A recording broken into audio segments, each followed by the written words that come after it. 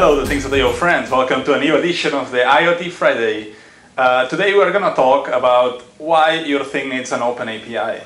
And we are going to do it with the help of my new Intel Galileo second generation that actually Intel sent to me to test how does it work, the second generation of Intel before sending a new Edison.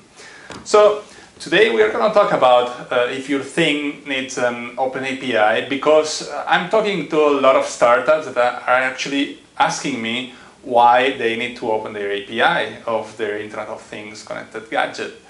And uh, the answer is, is kind of easy, but for the reason I'm doing this IoT Friday today. So first of all, imagine that you manufacture a product, you design it, you go to China or wherever and you make it and you sell it and distribute it.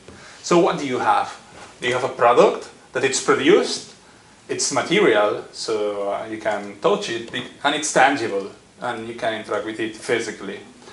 Then, if it's connected to the internet, as, as the things that we are talking, it's mostly we can say that it's a service.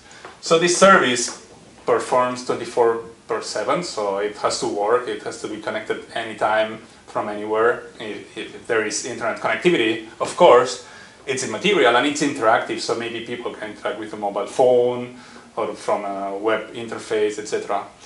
When you open an API, what happens? So when you open an API, you have a deeper customer interaction. So actually you open new revenue models with your customers and deeper interaction with them that allows you to improve and create innovative applications on top of your device.